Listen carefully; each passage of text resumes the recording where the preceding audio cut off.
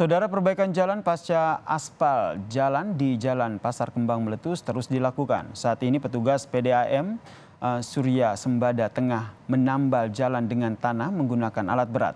Berikut ini laporan dari jurnalis Kompas TV via Irmar dan juru kamera Misbahul Munir. Ya saudara seperti inilah kondisi aspal yang tadi sempat uh, retak kemudian uh, menggelembung ya saudara ya di daerah Jalan Pasar Kembang Surabaya. Di mana pada malam hari ini tengah dilakukan pemerataan oleh tanah. Jadi ditambal dengan tanah saudara.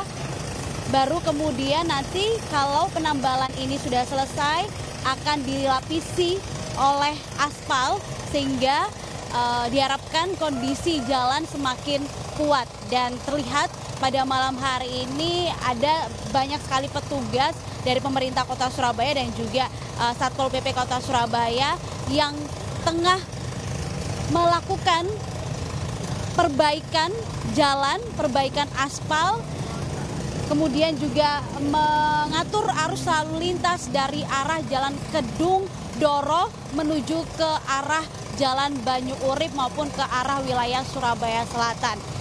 Kira-kira kapan perbaikan ini selesai? Sudah bersama saya pada malam hari ini pemirsa Direktur Utama dari PDAM Surya Sembada Kota Surabaya ada Pak Arif Wisnu yang saat ini tengah melakukan peninjauan ya Pak ya. ya. Selamat malam Pak Arif. Malam Mbak. Oke, Pak Arif, kira-kira ini targetnya kapan selesai Pak perbaikan aspal yang tadi sempat menggelembung ya Pak ya? ya. Ini besok pagi kita tergantung selesai semua.